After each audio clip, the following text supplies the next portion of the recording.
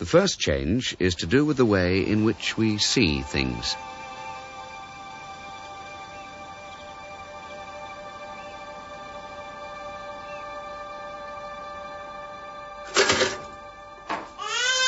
You'll become more aware of the vitality and energy going on around you, more able to celebrate ordinary, necessary, routine things.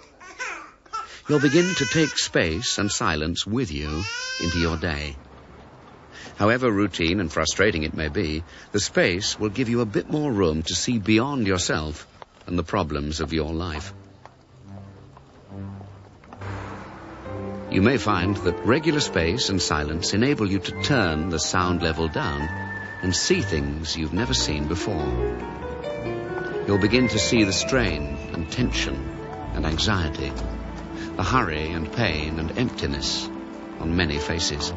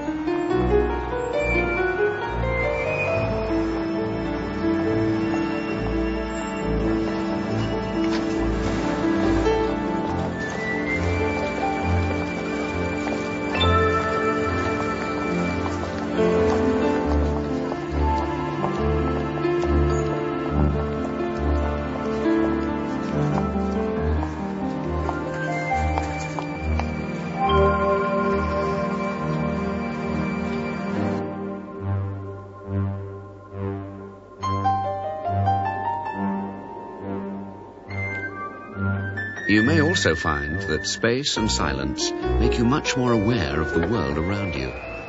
Even in cities, there's a day and night, winter and summer. Birds sing.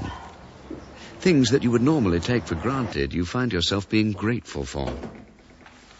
You are seeing things differently.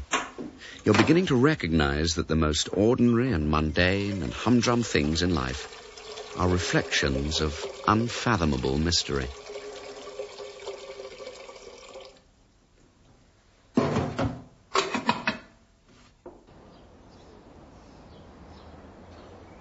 But just noticing these things isn't enough. If you really want to pray, if you're searching in your prayer for the one all faiths know as God, you need to deliberately deepen your seeing.